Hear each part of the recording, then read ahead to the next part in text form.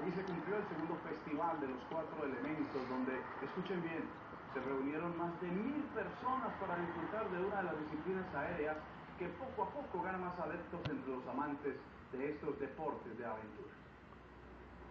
En el puente festivo, cientos de antioqueños y algunos extranjeros aprovecharon para literalmente echar a volar sus sueños.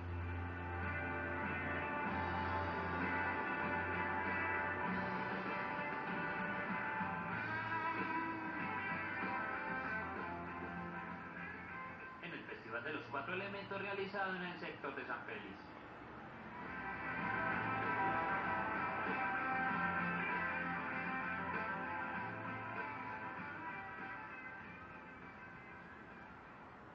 todos los hobbies al aire libre que tienen que ver con los elementos de la naturaleza, y de agua, de tierra, de aire y fuego.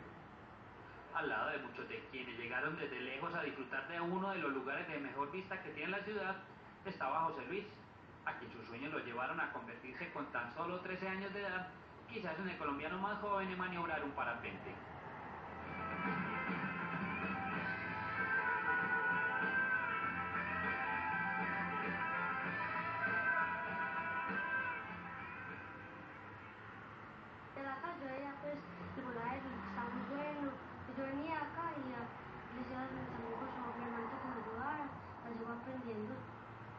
Con sueños que superan el cielo, José Luis pasó de ser un simple espectador a un gomoso de los deportes de aventura. Asistir, doblar los parapentes, aterrizarlos, abrirlos.